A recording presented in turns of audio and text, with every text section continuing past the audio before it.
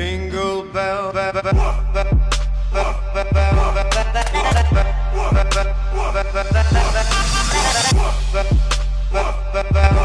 friends, hello, hi, how are you? I hope you guys are having an amazing day today. Hello! So today, first of all, candle of the day, it's the Capri Blue Volcano Candle. I've talked about this a couple times. Really nice, light, fresh scent, really a fan. Um, today's video So I am currently in the midst of what I call Glowmas here on my channel, which is where I post a video every single day in December. And I am counting this as a Glowmas video, but I will say I might have to like extend Glowmas into January because it's looking like I'm gonna have some extra videos from pushing it, which is fine. Um, but this is technically a Glowmas video. I know one day I posted two videos. I'm not going to do that every time. But today I wanted to talk about kind of the weird return of Shane Dawson and also a little bit about Jeffree Star. Um, mostly focusing on Shane's weird return to the internet though, because I really anticipate that in the next couple of months, we're going to see kind of a big return, uh, but there is definitely kind of a slow creeping return happening right now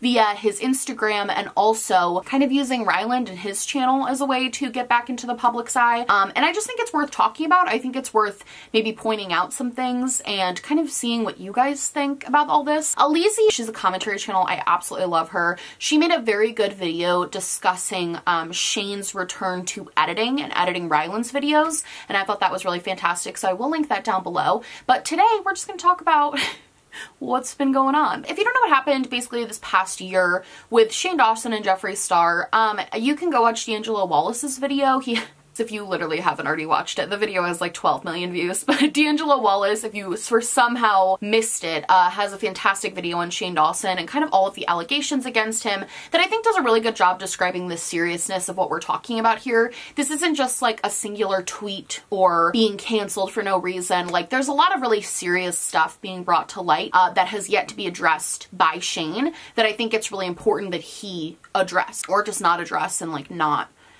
come back. Um, I also want to quickly say that I know that Ryland and Shane got a kitten and that kitten really tragically passed um, and Shane did do a podcast talking about it with Ryland. I'm not going to talk about that at all. I'm not touching it. I know some people are like conspiracy theorying that it's like a, a manipulation tactic. I cannot like believe that people are good if I think that they really did anything to that cat to try to convince the internet of something. Um, so I'm not going to be touching on that. Losing a pet is one of the hardest things and I'm not going to sit here and like speculate on how they were grieving about that or speculate about that situation um, because I don't think that's right. I know right off the bat a couple of people are going to be like, you're falling for it. But again, like I just can't believe in humanity if I think that he hurt an animal for clout. Like I can't. So for a long time, Shane Dawson was pretty much silent on all forms of social media. It seemed like he basically abandoned his Twitter and Instagram and obviously was not posting on his main channel and wasn't being seen in Ryland's videos. But he came back a couple of months ago to promote Ryland's new podcast that he came out with. And frankly, when this happened, like when Shane came out to promote this and kind of spoke up for the first time in months, um, I actually didn't think it was that weird. It didn't seem any sort of like calculating. It didn't seem strange. He has a platform of millions of people, a lot of whom still like him and follow him and support him.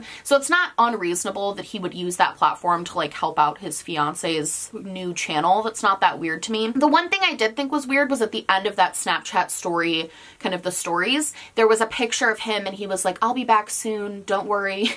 Which again was just a little bit weird, but I was like, whatever, okay. This obviously isn't like a statement or saying anything, so like I don't really care. Then shortly after that, he actually started showing up in Ryland videos. And that was a little bit more noteworthy because I visit, I, I remember I watched a couple of them and in the first couple of minutes of Shane being in Ryland's video, Ryland was like, oh my God, this is such a big deal for you because he was about to show Shane on camera. And Shane was like, oh my God, I know I got a haircut.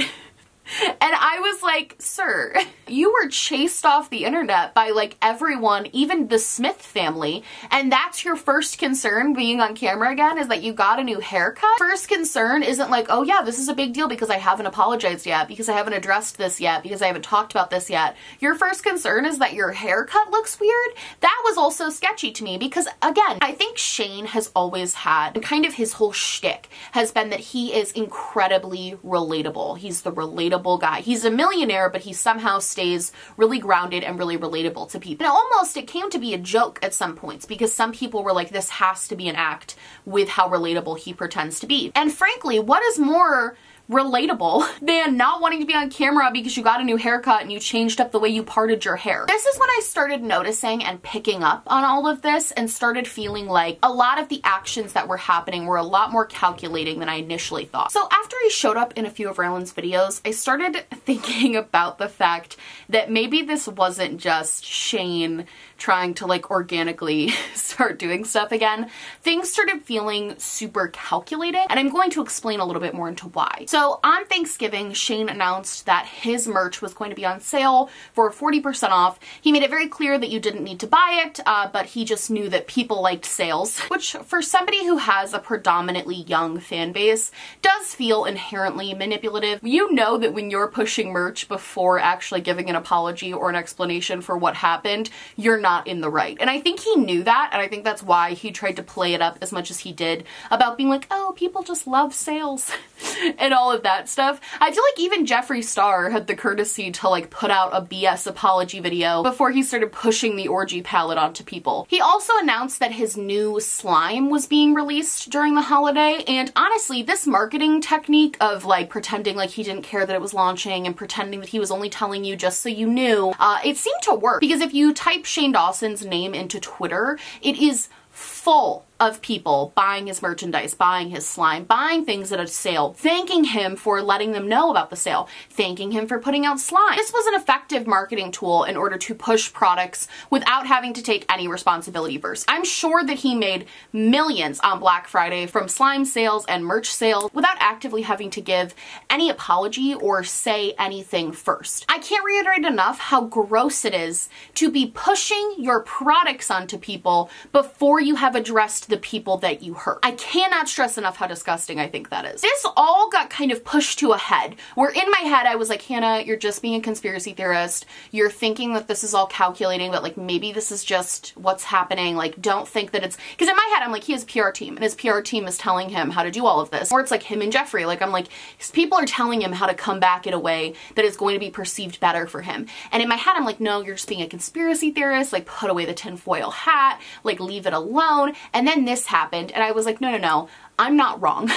I'm not wrong. Shane, after he lost his cat, posted on his Instagram stories about a YouTube video he posted several years ago that included a Christmas song and basically said that this song was helping him through the holidays. And even though he didn't agree with a lot of the things he said in the video, he felt like the song brought him a lot of joy. Now, in the clips of the song he posted to his Instagram story, you can see him in costume for a lot of the characters that did and said a lot of pretty horrible stuff on his channel back in the day So I think that, in, in first and foremost, that in and of itself is a choice. Like posting content with those characters, knowing what they represent, uh, that was just a choice in the first place. The fact that he blew it off on his Instagram stories by being like, oh, well, I wouldn't say these things today. Some of the jokes I disagree with, when in reality they were like, the isms go on. He posted that, right? And I was like, well, that's weird because why would anybody want to listen to a Shane Dawson song from like 2007 right now, right? And I'm thinking, I'm like, I don't think he's posting this to get views. Like, cause I really don't. I really don't think he posted that so like people would go watch an obscure video from like 10 years ago. Like, I don't think that was the motivation behind posting a video like that or posting a story like that because it just doesn't make sense. He makes enough money. He doesn't need another 100,000 video views. Like, that's nothing to him. But then the next day, his motives behind posting that became very clear because he posted a video of a girl on TikTok with her friend dancing to Shane's Christmas song in a positive way. Posted the whole clip of the TikTok, and then he said, Ryland sends me things that are nice about me on the internet because I don't like to go on the internet and look myself because there's a lot of hate and negativity. So if you guys are doing something positive and posting positive content about me, send it to Ryland and it, hopefully he'll see it and he'll be able to send it to me. I know know that a lot of people are going to be like, Hannah, he just wants to see some positivity.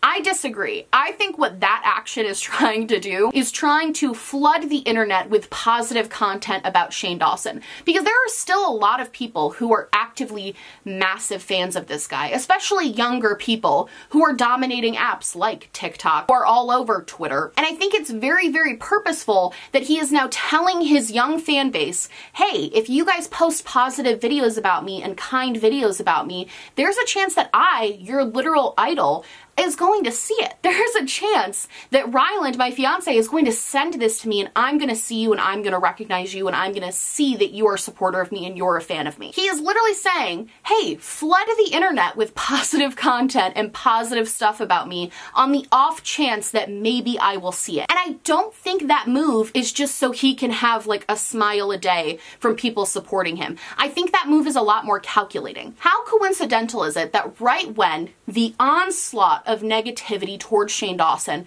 has started to slow down. Has he now started to push for positive content to be made about him by his fans? How interesting is it that now that a little bit of time has passed and there's been enough time for people to maybe forget the seriousness of the claims that were made against him and of the old content, people maybe have forgotten that a little bit. How convenient is it now you might be bombarded with TikToks reminding you why you loved Shane in the first place, reminding you of these nostalgic Christmas songs that he made that you listened to when you were a kid, reminding you of the positive things he's done because his fans are doing the work for him by posting that content in the hopes that he will see it. He hasn't posted a ton in recent days, and I frankly think we're gonna see more of the same of this type of more manipulative behavior. And I think it's all coming to a head to a point where he is going to post somewhat of a comeback video.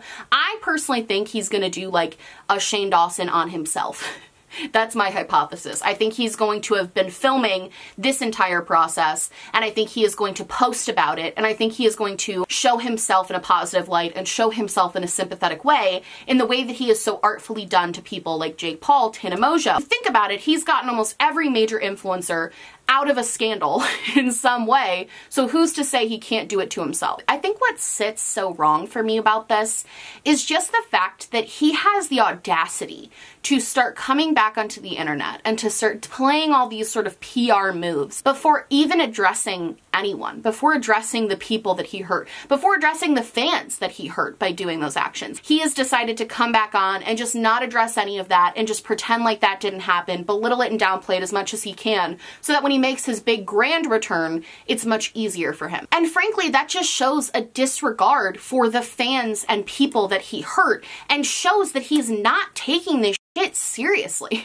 If he was taking this seriously, he wouldn't be posting he wouldn't be posting about his merch. He wouldn't be posting telling people to post positive things about him. He wouldn't be worrying about his haircut and Ryland's YouTube videos. If he actually took the allegations against him seriously and he actually took everything against him seriously, he would not be doing this. Remember when Tana Mongeau claimed that she spent like six months thinking about how she was a bad person, when in reality she was constantly posting on her Instagram stories that she was like partying during the pandemic And then she came on camera and tried to convince everybody that she had, that's all she'd been thinking about and it was a lie. This is what that is, just on a smaller scale. He is telling us right now with his actions that he literally does not care about what is happening. He, he literally referred to it in the podcast with Ryland, referred to everything happening as stupid internet stuff. The stupid internet drama that happened. That type of language is important and that type of language is calculated. And I don't even get me started on Jeffree Star doing the podcast with Ryland because boy was that like a grab for views. People knew that he was going to watch it.